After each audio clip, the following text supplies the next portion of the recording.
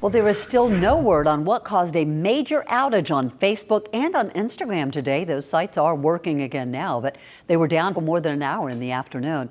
According to Down Detector, at least 500,000 Facebook users reported issues logging in or accessing the site. Threads and Facebook Messenger also went down, but they were back up before 1 o'clock in the afternoon.